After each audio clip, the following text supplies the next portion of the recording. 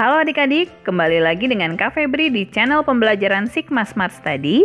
Kali ini kita akan membahas materi IPA untuk kelas 7 SMP yaitu pencemaran lingkungan.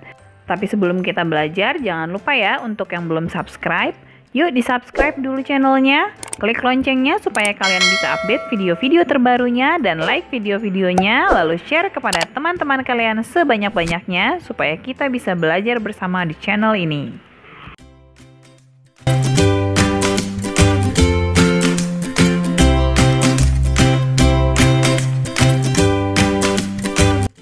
Kalian tentu sering mendengar istilah pencemaran air. Sebetulnya apa yang dimaksud dengan pencemaran air? Pencemaran air adalah suatu perubahan keadaan air di suatu tempat akibat aktivitas manusia. Perubahan yang terjadi mencakup beberapa hal. Bisa terjadi berupa perubahan bau, perubahan warna, ataupun perubahan rasa air tersebut. Lalu bagaimana pencemaran tersebut bisa terjadi? Ada beberapa sumber pencemaran air, di antaranya adalah berasal dari limbah pertanian.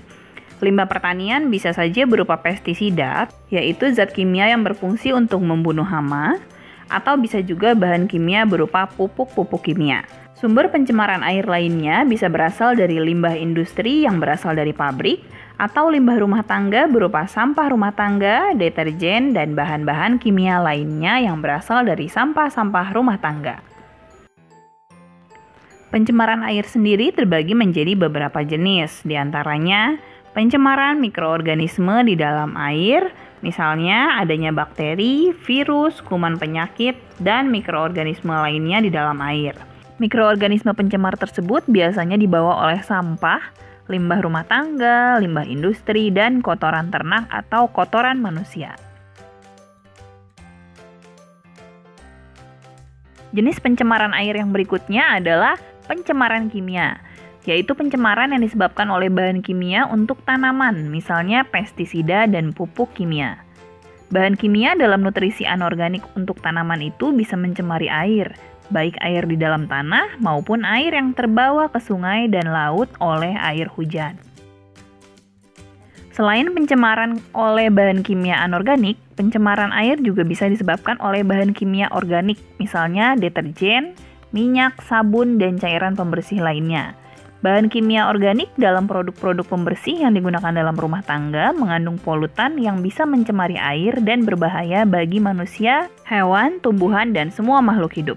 Selain itu, pencemaran air juga bisa disebabkan oleh logam berat, misalnya timbal, garam-garam kimia, dan asam kimia. Biasanya pencemaran oleh logam berat ini menyebabkan warna dan rasa air berubah dan tidak layak lagi untuk dikonsumsi karena bisa menyebabkan gangguan-gangguan pada organ-organ tubuh. Pencemaran air menyebabkan beberapa akibat, seperti di antaranya merusak ekosistem di dalam air karena menyebabkan kematian beberapa hewan, dapat menyebabkan penyakit, air menjadi tidak layak dikonsumsi, dapat menimbulkan pendangkalan di sungai, serta dapat menyebabkan populasi alga meningkat atau biasa disebut blooming alga atau ledakan populasi alga.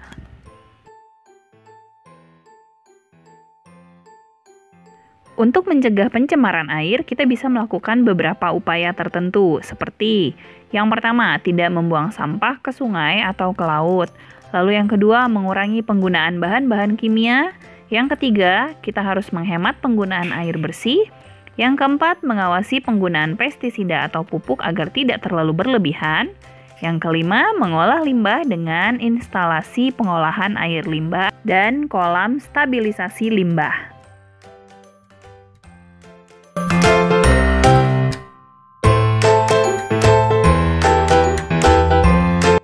Berikutnya, kita akan membahas mengenai pencemaran tanah.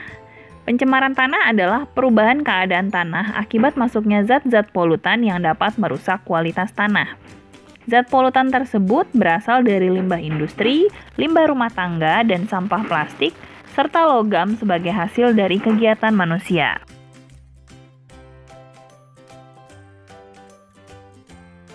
Ada beberapa penyebab pencemaran tanah, di antaranya adalah limbah-limbah domestik atau limbah-limbah rumah tangga.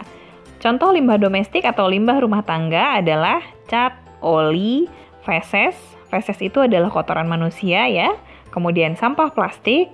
Lalu ada juga limbah pertanian, contohnya pupuk urea yang berlebihan, pestisida, dan herbisida.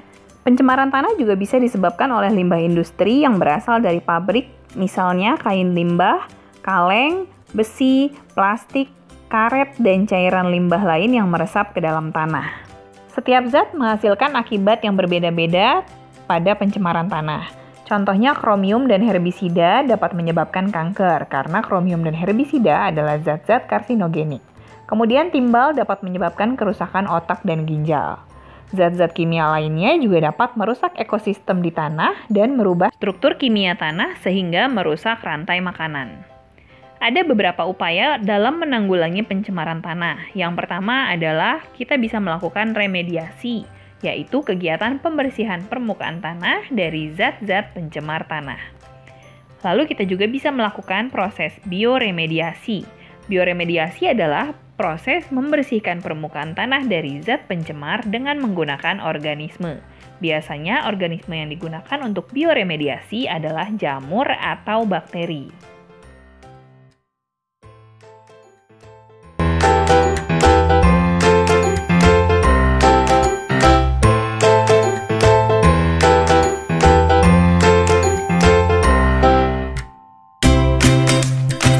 Berikutnya kita akan membahas mengenai pencemaran udara. Bagi kalian yang tinggal di daerah perkotaan atau daerah-daerah industri, tentu saja sudah sangat akrab dengan pencemaran udara. Pencemaran udara adalah kondisi udara yang mengandung bahan polutan yang berbahaya bagi makhluk hidup. Pencemaran udara ini biasanya disebabkan oleh aktivitas manusia yaitu pembakaran industri dan penebangan hutan dan pohon yang berlebihan. Berkurangnya jumlah pohon di alam dapat menyebabkan akumulasi gas-gas berbahaya di atmosfer. Ada beberapa penyebab pencemaran udara. Yang pertama, faktor alam. Faktor alam yang dapat menyebabkan pencemaran udara adalah gunung meletus yang dapat mengeluarkan abu vulkanik sehingga udara tercemar atau kebakaran hutan alami yang disebabkan oleh musim kemarau dapat menimbulkan polusi asap sehingga mengurangi atau menurunkan kualitas udara. Manusia juga dapat menyebabkan pencemaran udara. Aktivitas manusia yang disebabkan oleh industri dapat menghasilkan asap pabrik, asap pembakaran sampah, dan asap-asap kendaraan. Asap yang disebabkan oleh aktivitas manusia tersebut dapat menyebabkan penurunan kualitas udara. Ada beberapa efek atau akibat dari pencemaran udara. Contohnya, asap-asap kendaraan dapat menyebabkan akumulasi gas karbon di atmosfer sehingga menyebabkan efek rumah kaca dan meningkatkan suhu bumi sehingga dapat menyebabkan pemanasan global. Selain itu, penurunan kualitas udara juga dapat menyebabkan berbagai penyakit infeksi saluran pernapasan atas atau ISPA, atau asfiksi dan emfisema yang menyebabkan akumulasi karbon dioksida dalam darah sehingga menyebabkan penyakit pernapasan. Ada beberapa upaya yang bisa kita lakukan untuk mencegah polusi udara, yang pertama, kita dapat melakukan reboisasi, yaitu proses penanaman kembali hutan-hutan yang gundul agar pohon-pohon yang dihasilkan dapat menyerap karbon dioksida di atmosfer. Kita juga bisa mencegah dan memadamkan kebakaran hutan dan menghukum pelaku illegal logging atau penebangan berlebihan. Kita juga bisa menggunakan energi ramah lingkungan seperti energi surya dan menutup pabrik-pabrik yang menghasilkan zat-zat yang dapat merusak lingkungan. Oke adik-adik, itu tadi materi mengenai pencemaran lingkungan sudah selesai kita bahas semua. Mudah-mudahan bisa dipahami ya. Jika kalian belum paham, kalian bisa ulang-ulang lagi videonya sampai kalian benar-benar paham. Terima kasih untuk semuanya yang sudah menyimak. Tetap semangat belajarnya, tetap belajar bersama Sigma Smart Study.